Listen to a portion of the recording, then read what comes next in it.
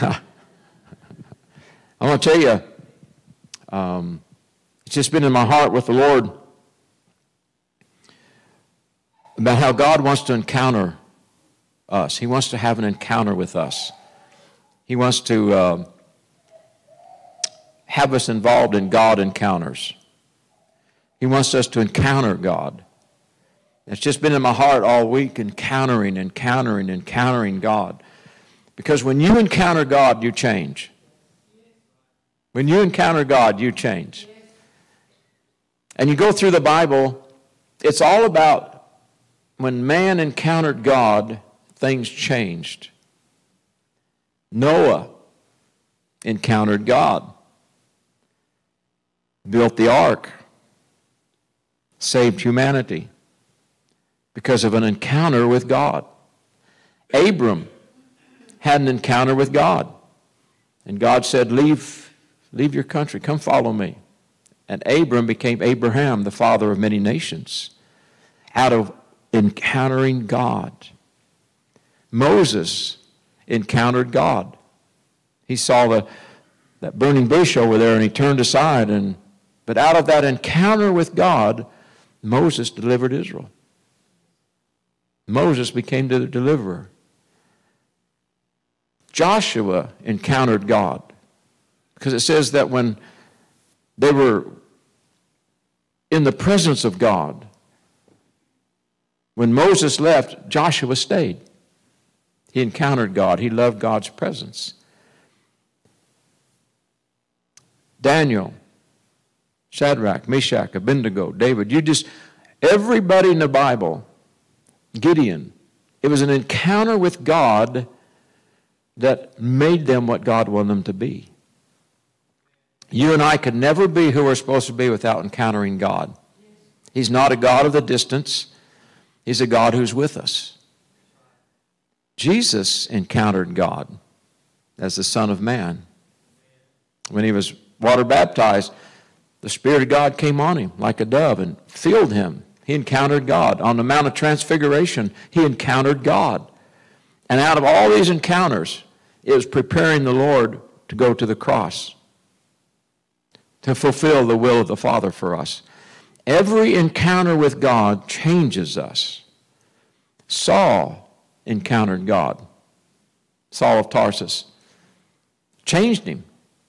He became probably the greatest apostle, wrote about 55 57% of the New Testament because of one encounter with the Lord Jesus Christ. Changed him. But then there was continuing encounters. God just doesn't want one encounter, but it takes one encounter to get your attention. First, first encounter every one of us in this room have had was when we got born again. That was your first encounter with God. Now, he may have spoke to you before, but that encounter changed your life, caused you to become a new creation. The story of Mary receiving the power of the Holy Spirit come upon her and becoming pregnant, she encountered God through the angel Gabriel. Sometimes we've encountered God through angels. When Joseph was thinking about putting Mary away, in a dream, an angel appeared to him. He encountered God through an angel. And he, the angel said, This baby is from the Holy Spirit. When, God, when you have a God encounter, He's revealing things to you about Himself, about the kingdom, about His call in your life, about what He wants you to do in life. Because you and I won't know what to do in life unless we have an encounter with God. We've received the Holy Spirit to lead and guide us into all truth, to show us things to come, to reveal everything that Jesus has to declare to us, because everything Jesus has is from the Father.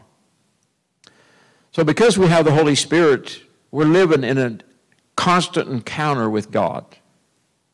There's a dynamo on the inside.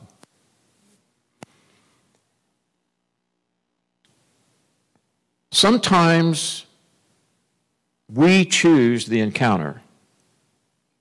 By desire for Him. David was always desiring more of God, always desiring to see God in the sanctuary. And David, you can read all the Psalms and you can see where David encountered God, encountered God, encountered God. Especially going to war, he would encounter God and he'd go out and take the victory. Joshua, the only time he missed, uh, didn't get victory is when he didn't seek the Lord and he went and did it in his own, own strength. Moses also tried to become the deliverer in his own strength, and he ended up in the wilderness for 40 years. We know that Abraham tried to produce a child himself and ended up with Ishmael. Sometimes when we have a God encounter, when God speaks to us, there's knowledge that comes, and we have to wait for wisdom. Abram got impatient, and when you get impatient, you're going to produce a work of the flesh. I believe that this coming year is going to be a year of great encounters with God. God Himself, perhaps in dreams or visions or angels, or just more than anything, just the Holy Spirit being more sensitive to His voice, being able to hear what He's saying, and then to do it. Because you see, great encounters with God affects humanity. Not only does it affect you, and your family and you personally, but it affects the world. It affects the body of Christ. It affects your neighbors. It affects countries. Last year, when, when um,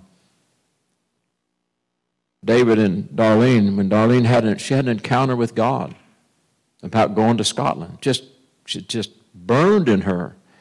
And I think a lot, of, a lot of us just try to say, now, darling, you know, we know that could be God and stuff, but no, she wasn't going to quit. She knew that she knew that she knew that God spoke to her. And she went over there, her and David, and, and I'm telling you, the impact they've had on Scotland is still ongoing. They didn't just go over there to be there and leave, they went over there and parted a desire for revival, and they unified hundreds of pastors. I'm, I'm not kidding on that. I mean, just, and, and it's going to keep going. They just planted a seed that's going to keep growing and growing and growing. But she forsook her and David. Uh, you know, how many of you would do what they did? They left everything here, went over to Scotland, simply on one deal that God sent us. And they drove all around Scotland. God gave them such favor with the pastors over there because she had an encounter with God. Now, she could have let people talk her out of that. There are always dream stealers because they don't have your dream. And they can't have your dream because God didn't give them that dream, He gave you that dream. And when you have an encounter with God, you've got to be aware of something. There's going to be those that's going to try and steal that encounter from you. And one of the persons that might steal it the first is yourself. Oh, God, you surely wouldn't do that through me. And you talk yourself right out of what God could do.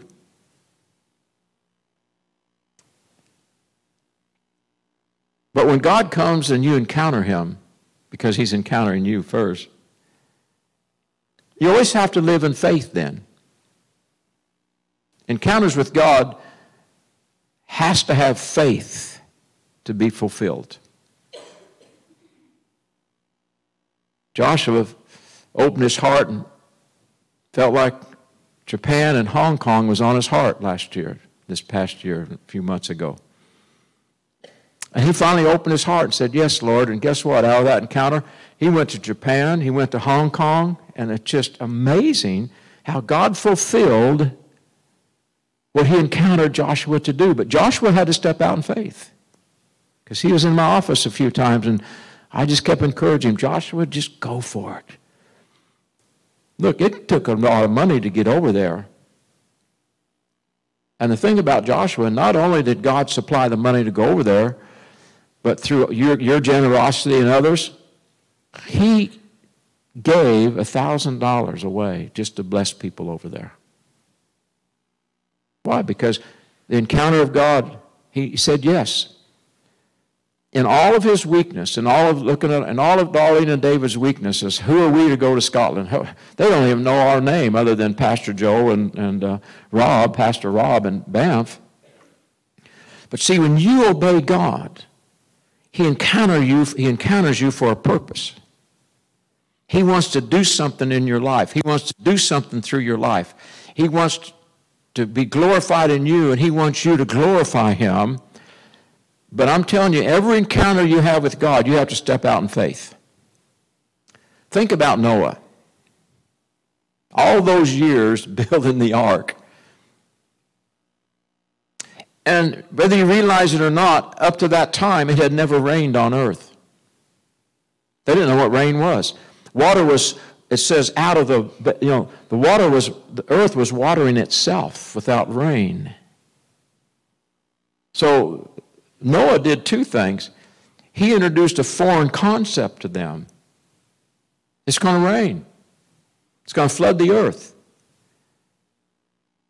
And he was building an ark, huge, and there's no water around. He must look pretty stupid. And I'm sure for all those years he worked on the ark, he had to put up all the time with people probably coming out and making fun of him. I can see him coming out there and having picnics and just watching him build that ark and making fun of him. Oh, look at Noah's folly here. But it didn't deter him. It did not deter him because the encounter with God was so much stronger than the pull of the world and what his friends thought or anybody else. And guess what? He saved humanity. Not only that, he saved the animal kingdom.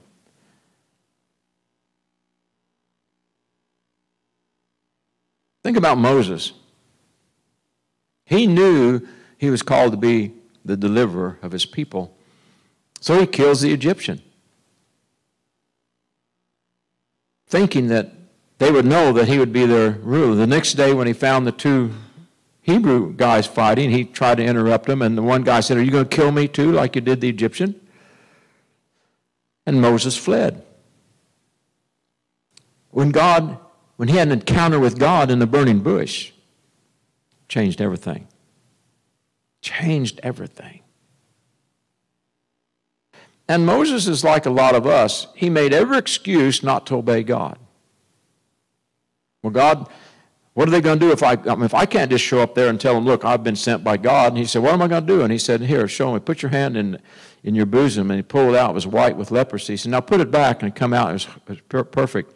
Throw your rod down, turn into a snake. Pick it up, turn back into a rod. He said, show these two signs to the people.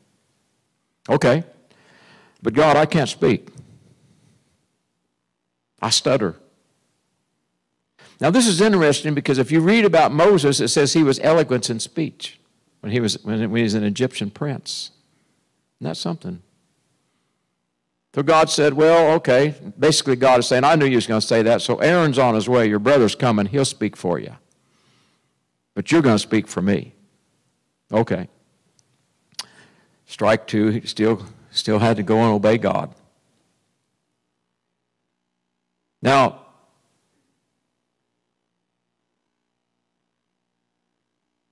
Moses wasn't perfect, but he did obey. And out of that obedience, he became the deliverer of Israel. Gideon when God called him, listen to what he said to him. He said, Hell, thy mighty man of valor, the Lord is with you. And Gideon said, Me? My family's the least of all the tribes of Israel, and I'm, I'm the very least in my family. In other words, I'm the least of the least. Are you kidding me? You're calling me a mighty valor man of. And yet, he put a fleece out there, first of all, before the angel of the Lord, and said, If you are the angel of the Lord, he went and fixed him something to eat, and the angel of the Lord burned it up. And then he asked for a fleece and he did all that. But you know what? He went out perfectly in, in God's will. But when God told him to tell, tell, tear down the image of Baal, he said he did it at night so that they didn't know who was going to do it. But he still did it. And then they found out who did it. They came to his father and said, "We want, we come, bring your son out here. We're going to kill him." And his father said, "Wait a minute, wait a minute. If Baal is God, let, God, let, let Baal defend himself." So they let him off, and they changed Gideon's name to Jerubbaal or something like this. It means this: "Let Baal defend himself." And we know that David, that he went from thirty thousand soldiers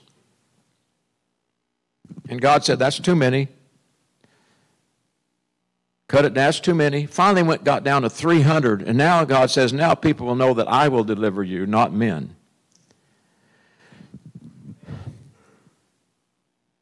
Gideon was still not sure.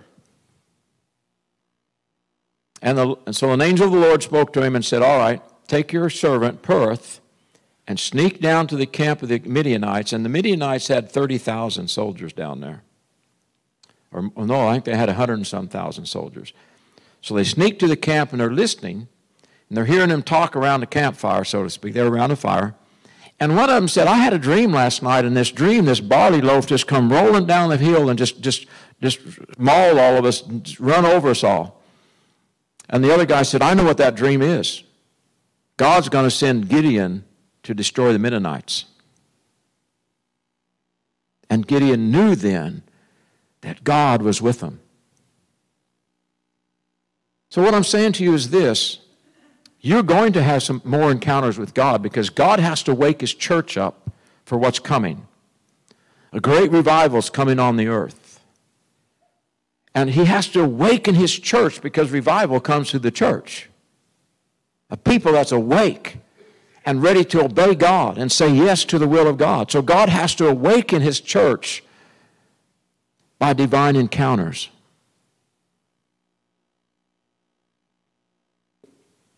And the, the encouragement is this nobody but Jesus perfectly obeyed God. Nobody did. And yet, in their imperfection, they accomplished the will of God. Peter denied the Lord. And yet, that rain, there was forgiveness. And as a result of it, Peter became a great apostle. Not because he was perfect. Even after he became an apostle, he had a hard time ministering to the Gentiles. God had to give him a vision of the sheet coming down three times. And then when he got to the Gentiles, then he realized, oh, now I know what that vision was all about. God's telling, don't call anything uncommon that he's called common. In other words, he was saying the Gentiles are going to get saved. And he sent Peter to the Gentiles. And then God had to do something very supernatural. Even while Peter was still speaking, the Spirit of God fell on him. Because I think God had to convince Peter that he was choosing the Gentiles to get saved just as much as the Jews. And then when he went back to the Jews, they said, We heard you were with the Gentiles. Basically, don't you know they're dogs? We're not supposed to talk to them. And, and Peter, and with the men that was with him, said, Listen, the Holy Spirit fell on them just like us. We heard them speaking in tongues and prophesying, they were, and we baptized them in water. Who are we to say no to God? Then the Jew says, Now we perceive, and it's quoted scripture, that God has now brought salvation to the Gentiles also. In other words, they had to be convinced. They had to fight through some theology. They had to fight through some uh, misunderstanding, but because they were faithful to the encounter that God put in their heart, in their life, God's will was done. Not because they were perfect, not because they did it perfectly, but they stayed obedient. They stayed obedient. Even when Peter, after the Lord was risen and stuff, what did Peter say? He said, I'm going fishing again. I'm going to go back to what I was before Jesus called me. I'm going fishing. Now, you would think that the Lord would come and upbraid him out there in a fishing boat.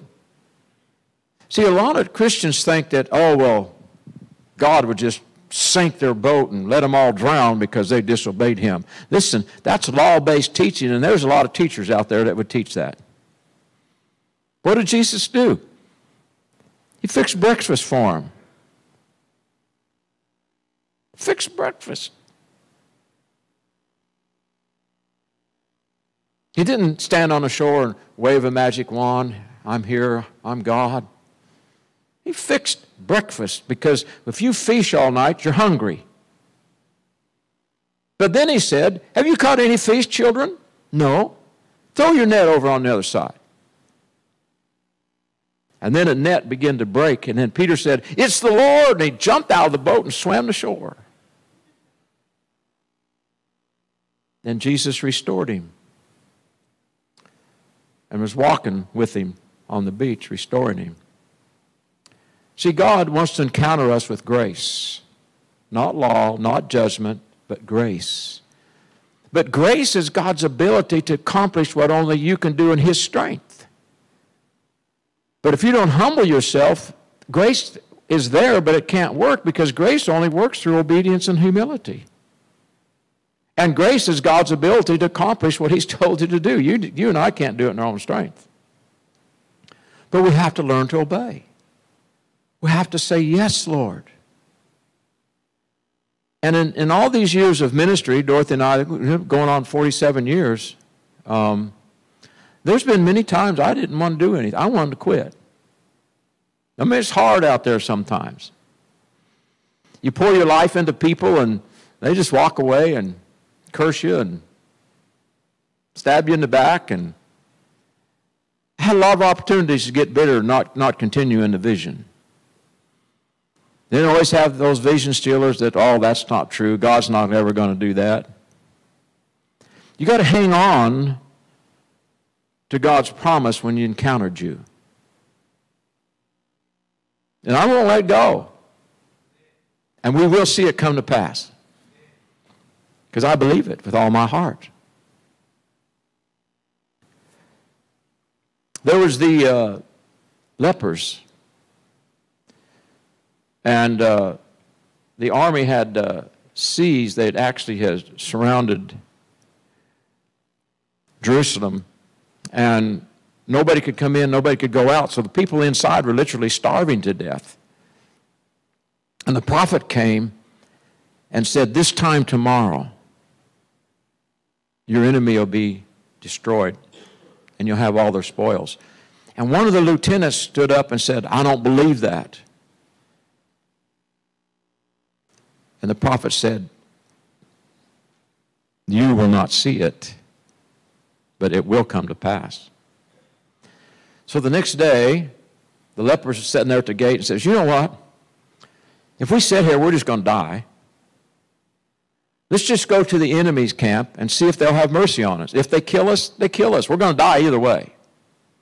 So, on their way to the enemy's camp, lepers, God went before them and sowed confusion in the enemy's camp. They started killing one another. They started running. And by the time the, the, the lepers got there, everybody was gone except all the cattle, all the food, all the spoils.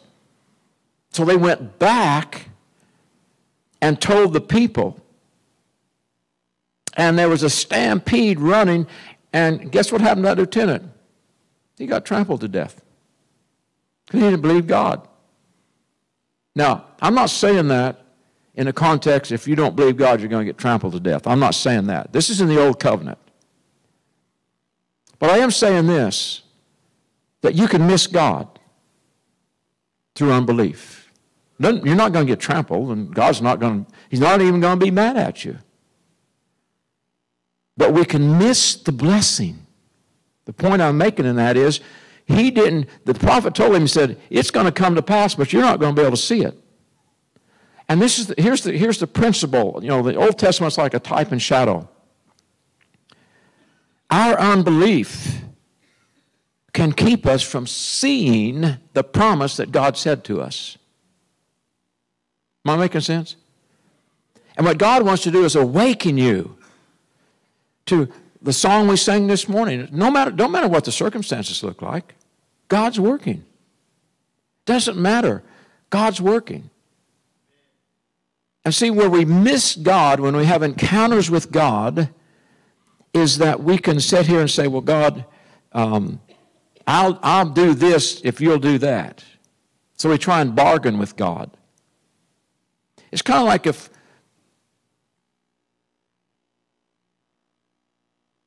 you want to walk on water. God says, walk on water. Well, see, we want to go in the middle of winter in Lake Erie when the, when the ice is about three to four foot thick and you can drive a truck on it. Then I'm ready to walk on water, Lord. I see this truck sitting out there driving all over this lake, and I believe I can walk on it.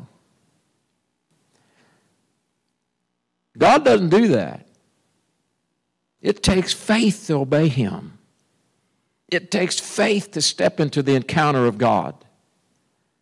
Mary, most beautiful word you'll ever hear when, when she said to the angel Gabriel, How, how am I going to be? I don't even know a man. I'm a virgin.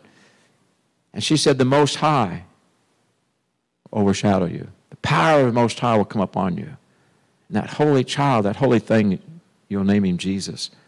She said, Be it unto me according to your word. That's the voice of faith. The written word of God. Be it unto me according to your word. Thank you. All the promises are yes and amen in Christ Jesus. We can claim any of those, like there's 6,000 promises. They're ours in Christ Jesus. They're all yes and amen in Christ Jesus for us. All we have to do is believe them and act on them. But then there's the Rhema word of God, where God can speak to you by angels. Or he can speak to you through a prophet or through a prophetic word. Someone can give you a prophetic word. But he can speak to us either through the Logos or the Rhema or through angels, through a brother or sister speaking in a word of prophecy or wisdom or knowledge to you. But you have to believe it. You have to step out in faith and say, God, I believe it. When Dorothy and I was called, I knew I was called in the ministry when I was a little boy, but finally when I answered the call, we was teaching school. I was teaching school, and, and um, we had Tanya, and I knew it was time to go out into the ministry. I knew it was time. God had dealt with me and dealt with me and dealt with me. Finally, I said, Yes, Lord. And I, I resigned at the end of that year. You know, I didn't renew my contract. I'd been teaching two years. And all I knew was a Methodist church, so I went to the Methodist pastor. And anyway, we went to seminary and Iliff School of Theology in Denver, Colorado. And, and um, we then went there and applied, and got accepted. And all of a sudden, I got a call from two superintendents and said, Do you want a student charge? I said, I don't know. What is a student charge? he said, While you're going to school, you can pastor churches. So there's two little country churches right out, out in, in uh, eastern Colorado, northeastern Colorado, way in by Wray and Holyoke and Yuma, Colorado, in that area. Two country churches, Pleasant Valley and Wages. And uh, they said, You can actually pastor those churches while you're going to school. And they said, Normally we don't do this. Normally you have to be in school one year. But because of your resume, I'd been in the military, I'd been teaching school for two years and everything. He said, We're going we're going to let you pastor these two churches if you want to. Of course, I said, Sure, we want to do it. And then there's dormitories on campus. And we applied for it, and they said, I'm sorry, they're all booked up and nothing there. Well, about two or three weeks before we moved out there, they, they called, they uh, wrote me a letter and said, Mr. Van Winkle, we don't know how, but through uh, some uh, unusual circumstances, uh, an apartment has opened up for you. Do you want it? We said, Of course we do.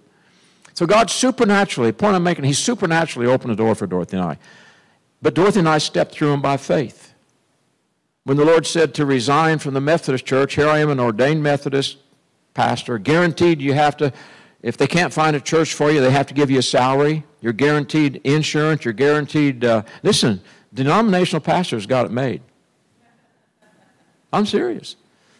And when the Lord spoke to my heart and said, No, I want you to resign, and um, I did.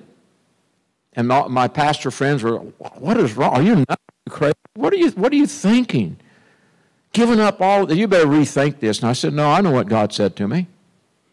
And so we waited for, the, for about eight months. And then all of a sudden, somebody gave us $1,000 to go to Land School of Theology, to go apply there, look at it in Anaheim, California. So Dorothy and I went out there and went to Disneyland while we were out there and applied at the school. And anyway, we ended up going back. We went out there, Dorothy and I and our three kids. At that time, two kids, and she was pregnant with Micaiah. No money, no guarantee of money, no nothing, just the word of the Lord said, Come. And we stepped out there in faith and did it. And God took care of us faithfully. We didn't have enough money to, to apply for food stamps. I think back then you had to have $40 and you got like $200 worth of food. We didn't have $40 to apply for food stamps. So we had some friends that were in college with us, and uh, they got food stamps, so they would tithe their food stamps to us. That's how we got our food. It's just amazing how God has taken care of us over the years. And, um, you know, I've just walked with Him too long now to doubt Him. You just got to understand, church. The encounter with Almighty God, the God who created heaven and earth and all that there is, who is now your Father, and Jesus is your Lord, your Savior, your brother, your captain of the army. He's all these things to us. And we have the Holy Spirit of promise in us and with us. And is there anything too difficult for God? Is there anything God can't do? That's the God that's on the inside of us, church. That's the God that wants to encounter you with greatness, with greater things than you've ever known, because He has need of His body to bring this great gospel of glory to the, this generation, to even cause nations to shake and tremble. He needs his church. He needs his apostles, prophets, evangelists, pastors, teachers, miracle workers. He needs his church baptized with the Spirit, with the gifts of God working through them. And the most, for me, the saddest thing on earth as Christians who go to heaven empty handed because of the fear of man or self, selfishness. I want to do what I want to do. Or unbelief. It's the saddest thing in the world to see a man and woman of God full of the Holy Ghost, full of power, able to change nations, able to, to save the lost, able to raise the dead, able, able to cast out demons, able to, to, to do anything God tells them to do, who can change nations if God tells them to, who can become John Wesley's, who become Deborah's, who can become Elijah's and Elisha's who can become apostles, prophets, who has a powerful destiny on the inside, only to go to the grave where that destiny is buried. The greatest treasures on earth is in cemeteries, buried in Christians who refuse to obey God. That's sad. To me, that's the saddest, next to people not knowing Jesus and ending up in hell, that's the saddest thing. The next saddest thing is Christians who go to heaven empty handed. God wants to encounter you. And when God encounters you, see, and I'll tell you what's happened, and we're going to counter that. I'm going to counter this with everything that's in me by the Holy Ghost. The church has been taught by law not to obey God. Now you say, well, I've been to these other churches and they tell me to obey God. They tell you to obey God on this condition. If you don't, God will get you. So you try and obey God in the flesh. And they basically tell you how you're to obey God. You come to this church and you do this and you do that and you do this. And by the way, ladies, you can't preach. That's not God. That's a doctrine encounter, not a God encounter. So when I say this, that people they are taught unbelief.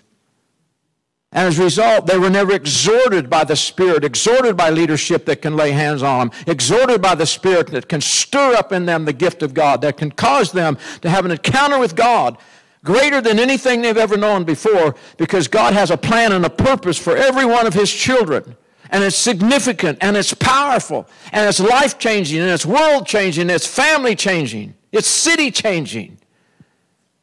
The only limit in your life is you.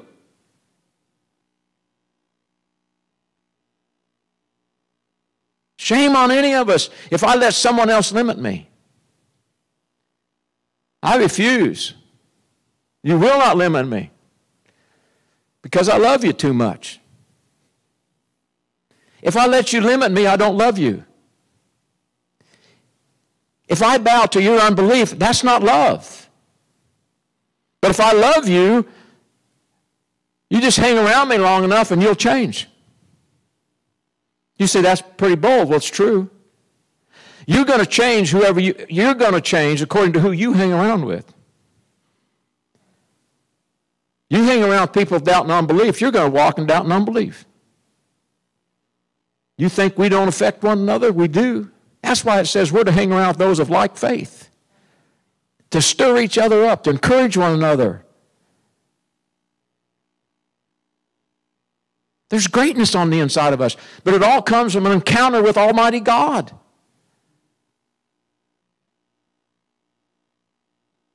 He wants to encounter you. In fact, He's going to.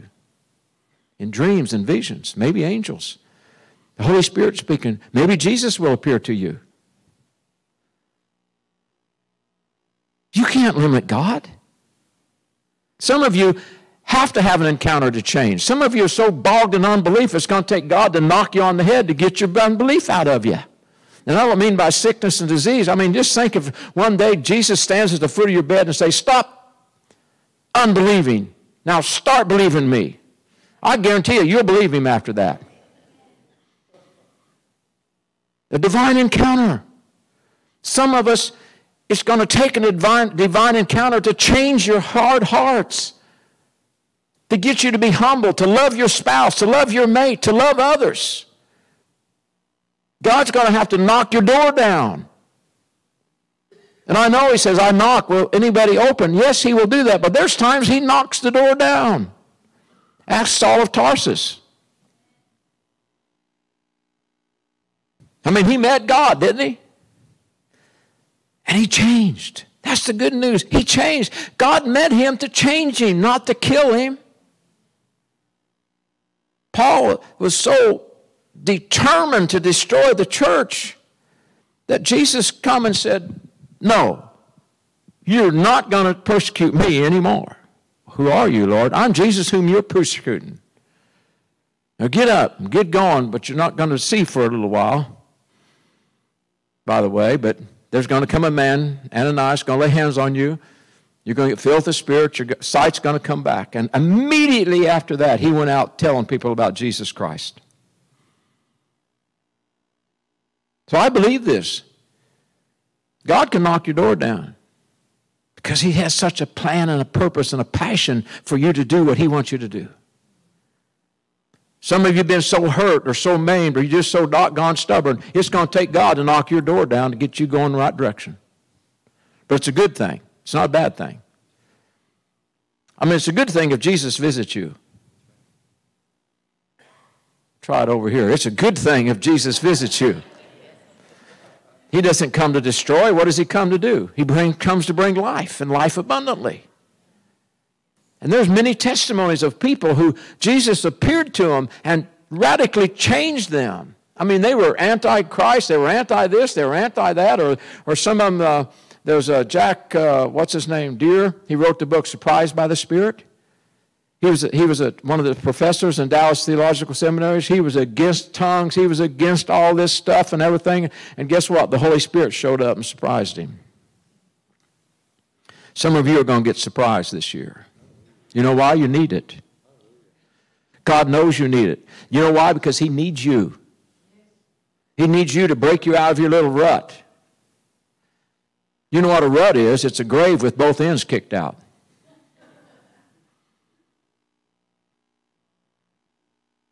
You're going to have divine visitations this year. It's going to take that to wake you up. It's going to take Him to bring you out of your stubbornness. It's going to take one moment, one second with God, and you're going to see how so like a little piece of dust you are compared to God. And yet He lives in you, that little piece of dust. He died for you, that little piece of dust. And He gave everything He has to you, that little piece of dust. And He made you, that little piece of dust, to have dominion over all the works of His hands. And that's why they say, Who is this little piece of dust that God's mindful of Him? And yet you've crowned him with glory and honor, and, and you have, he is just a little lower than yourself. You're significant. Everything God does, he has to do it through you. He made it that way. He gave you dominion. He gave us dominion, church, and he won't change his mind. And there's some things that he wants you to have some dominion over on earth for his name's sake. And it's going to take an awakening in you for him to do it. And guess what? That's what he's going to do this coming year. I, you can write it down. You can say, I don't believe it. I don't care. God's going to knock your door of unbelief down. And I'm going to say, Lord, tell them this. First thing, say to them, Pastor Rich told you so.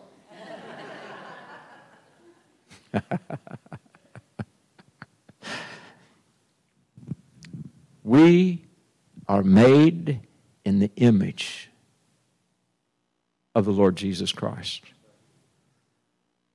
He deserves us to surrender everything to Him so that He can be everything He's promised to be to us. How dare any of us be so stubborn, so prideful, so self willed that we have the audacity to think that we'll stand before God and He'll pat you on the back for your doubt, unbelief, your, your, your stubbornness, your selfishness. He will not do that.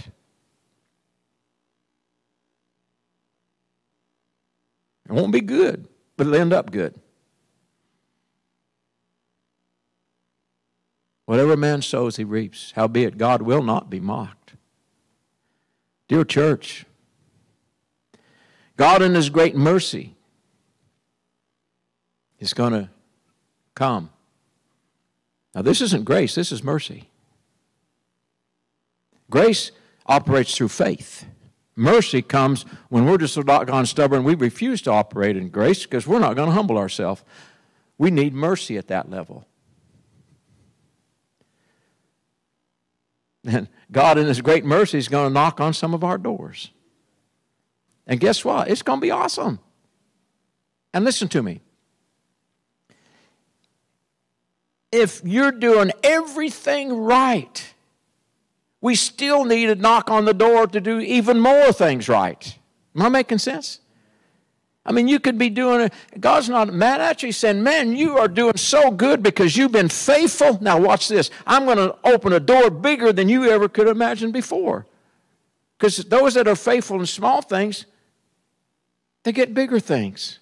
So, some of you have been so faithful to God I'm just going to say all of you, okay? But see, when God comes with a greater encounter, it's just to move you into more greatness. It's to move you into more things that He wants you to do. And He's pleased with where you're at. But He can't stay pleased if we stay there because we're being changed from glory to glory. I want to change more. I want a greater encounter with God. I want to see Him more. I do with all my heart, and I will. Why? Because you'll be benefited. See, whenever you encounter God, others are going to be benefited with your encounter. Some of you just need this. Some of you need the Lord to come and show you how much He loves you. Because it says if we recognize His love and perceive it, we become filled with God.